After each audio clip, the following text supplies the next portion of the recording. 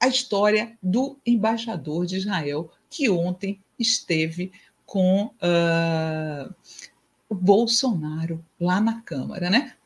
Uma verdadeira afronta ao governo brasileiro, né? O embaixador de Israel sentado na Câmara do lado do Bolsonaro, dizendo, dizendo ele que uh, hoje, né? Hoje em entrevista, ele dizendo que encontrou o Bolsonaro, não sabia que o Bolsonaro ia e que foi, é, ele tinha chamado é, deputados, parlamentares de todos os partidos, inclusive do PT, mas o fato é que o, o embaixador de Israel aparece sentado na cabeceira aparece sentado na cabeceira. Não importa o que ele fala, ah, não foi um encontro político. Não foi um encontro político como, embaixador? Você está sentado na cabeceira com o ex-presidente do Brasil, cercado da oposição ao governo brasileiro, né? Uma, uma situação totalmente inapropriada para um diplomata. E, além disso, o ex-presidente com o qual você estava sentado, embaixador, ele é acusado de tramar um golpe contra o atual governo. Certo? Não é qualquer ex-presidente. Não é você encontrar com o Fernando Henrique Cardoso. Não é você encontrar com uh, é, a Dilma. Não é a mesma coisa. Você estava ao lado, né? Porque vocês são de extrema direita, o governo de Israel e o Bolsonaro são de extrema direita. Por isso que eu, que eu falo com quem quer usar esse joguinho, ah, é antissemitismo. Não o nosso discurso é sempre contra o governo de extrema direita de Israel. Em nenhum momento, em nenhum momento a gente falou alguma coisa contra o judaísmo. Isso seria ser antissemita. Ser contra a extrema direita, nós vamos ser em qualquer parte do mundo, seja em Israel, seja na Cochinchina. Nós fazemos oposição aos governos extremistas de direita, fascistas, né? o que o, o, embaixador agora não pode mais negar depois do encontrinho dele com o Bolsonaro, né, gente? Não pode mais negar. É, e aí, coloca aí para mim a, a, o texto, o, a matéria da CNN, Tati. Olha só foram ouvir o Bolsonaro, a CNN foi ouvir o Bolsonaro, e ele disse que o encontro com o embaixador do Israel foi fortuito. Segundo a assessoria de Bolsonaro, enquanto fazia uma visita a seus aliados, ele soube da presença do embaixador e foi convidado por seus aliados a participar do encontro. Mentira, né, gente? Está na cara que o embaixador é, simplesmente convidou o Bolsonaro e depois não teve coragem de admitir. Hoje ele deu entrevista para o UOL e disse a mesma coisa: ah, não sabia que Bolsonaro iria e não sei o quê. Papo furado. Nós temos um incidente diplomático.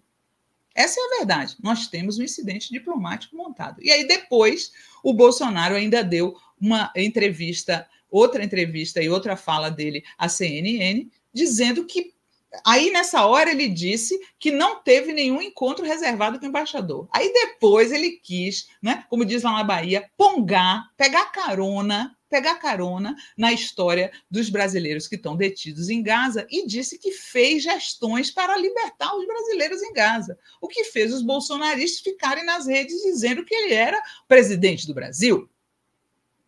É mole um negócio desses? Gente, é, é demais, né? Eu fico indignada, tá? E a, mas a, a, a, a PF, a PF, hoje, ela rebateu esse cara, tá? Deixa eu pegar aqui a matéria da, da Fórum sobre a PF para eu ler para vocês.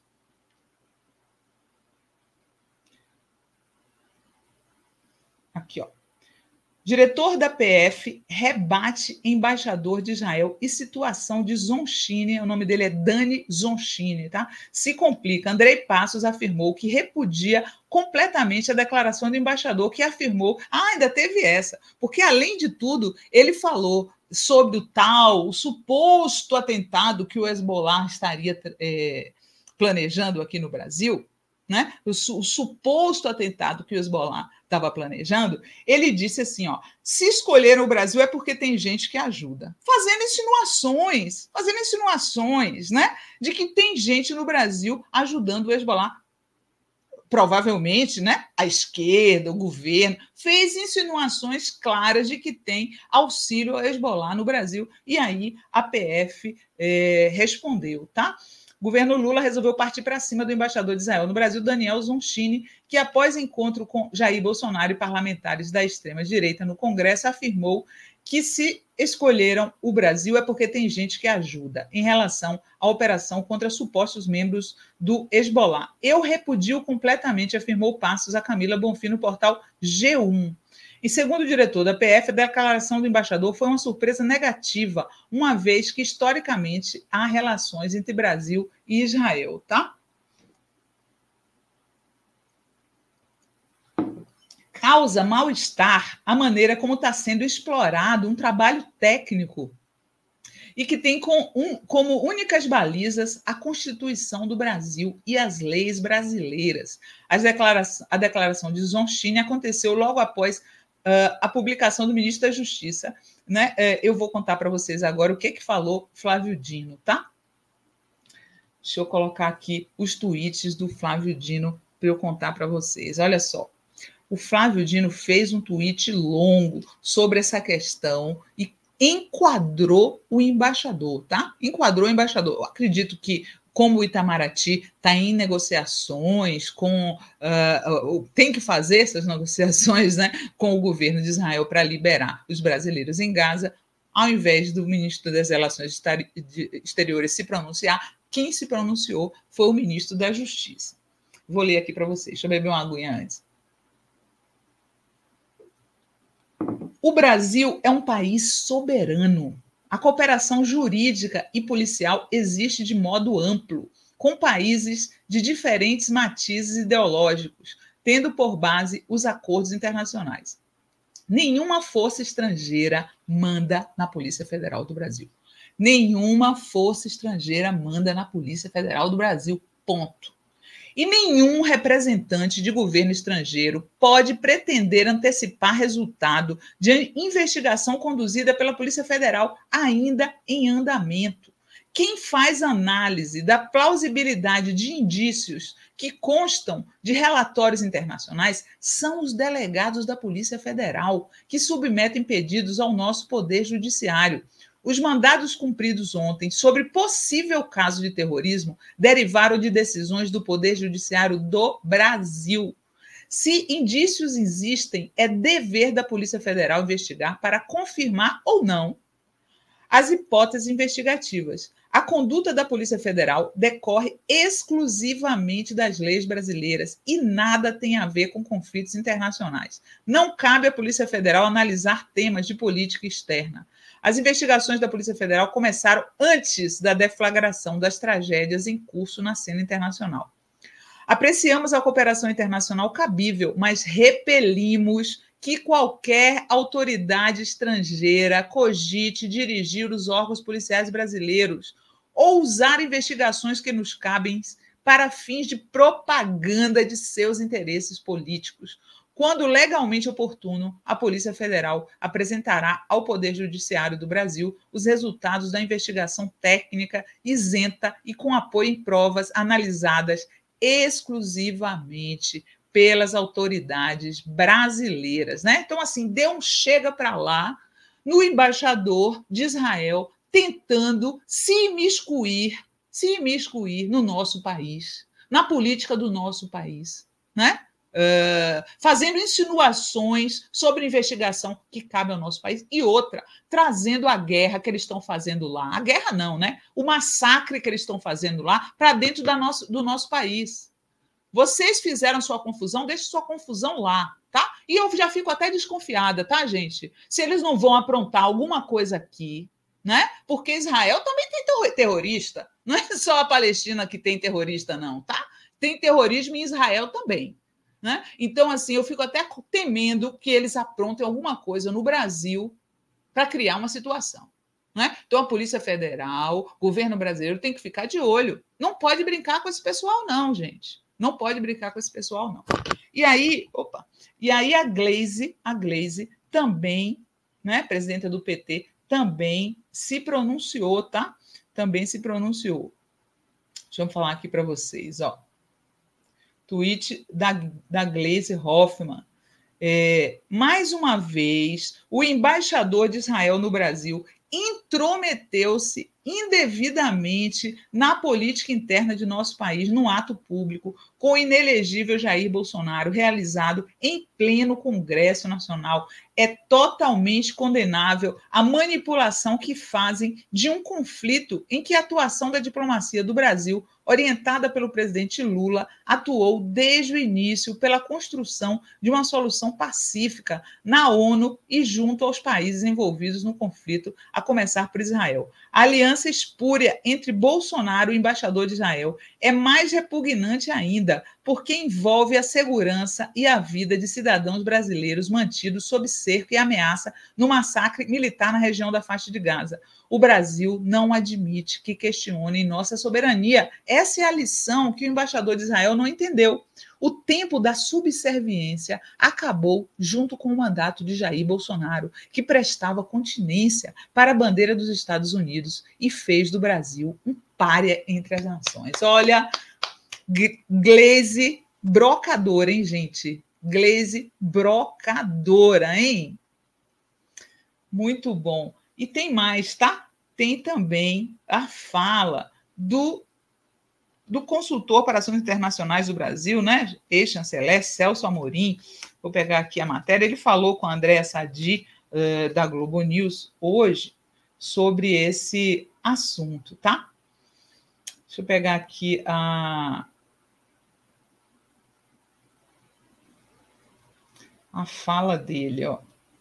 Opa, eu peguei o título, não foi, Tati? Olha aqui, ó. Celso Amorim, assessor especial da Presidência da República, classificou como total irresponsabilidade as falas do representante de Israel no Brasil. Ele afirmou que a prioridade do governo Lula continua sendo a retirada do grupo de cidadãos que estão na faixa de Gaza, tá? Ela falou lá, é, também a gente não tem como mostrar o vídeo, mas em suma foi isso que o Celso Amorim falou para ela total irresponsabilidade as falas do representante de Israel no Brasil. E aí depois também saiu uh, uma fala do Celso Amorim eh, em que ele, pela primeira vez, também classifica como genocídio o que está acontecendo eh, lá, o que Israel está fazendo com os palestinos, né? com as crianças palestinas. Eles estão massacrando as crianças palestinas.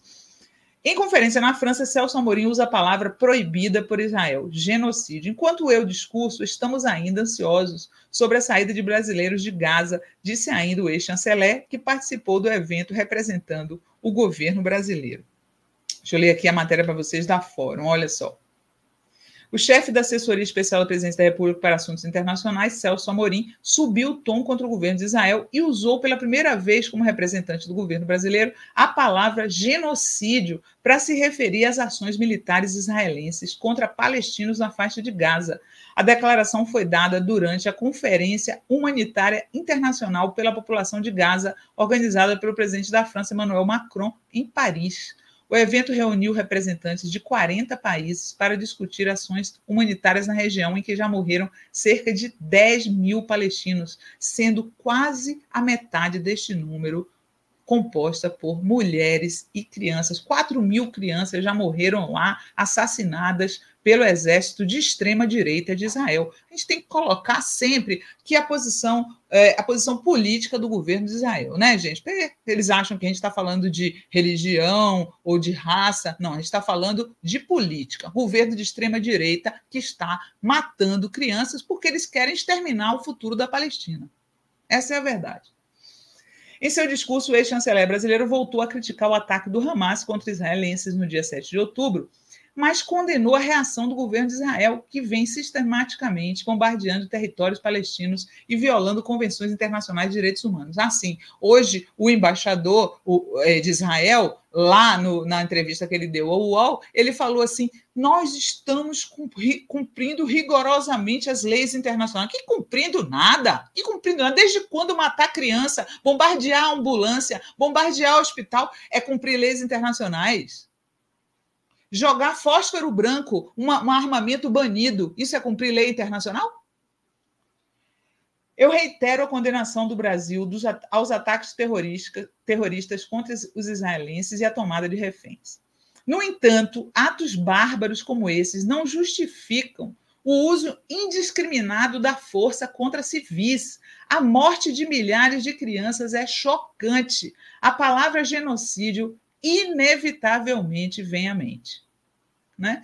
Amorim reforçou os apelos do presidente Luiz Inácio Lula da Silva por um cessar-fogo na faixa de Gaza, com a criação de corredores humanitários, e mencionou ainda a existência de Israel em manter retidos o grupo de 34 brasileiros que estão na região em meio aos ataques. Um cessar-fogo humanitário é essencial. Passagens seguras e desimpedidas para a entrada de ajuda humanitária em benefício de hospitais, escolas e creches precisam ser respeitadas. A passagem de feridos deve ser garantida. É altamente perturbador que quase 100 funcionários das Nações Unidas tenham perdido suas vidas em Gaza. Quase 100 funcionários da ONU morreram em Gaza. Quem matou eles? Eles eram terroristas também, o, o embaixador de Israel? Um absurdo, né, gente? É um absurdo o que está acontecendo e eu fico feliz que o governo brasileiro começou a dar uma resposta à altura, né?